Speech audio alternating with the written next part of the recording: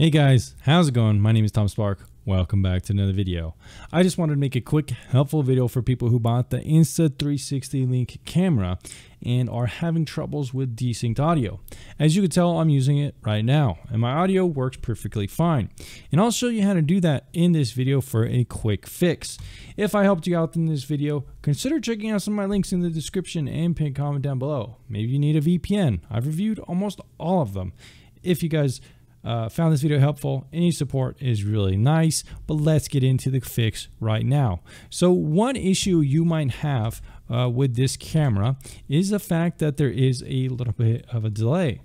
And now what you probably want to do is go into the camera like I did and you're going to want to make it 4K. The custom resolution 4K like that.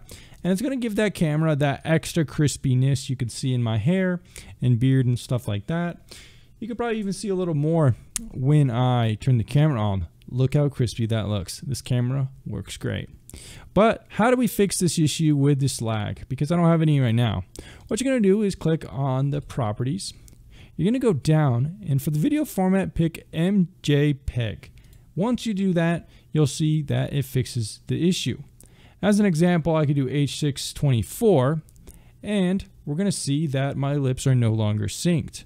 But if I go into it again and change the video format to MJPEG, we could see that we are now matching with the voice, as you can see there. Anyways, guys, just a quick little tip and trick video that I thought could be helpful, and I'll see you again very soon.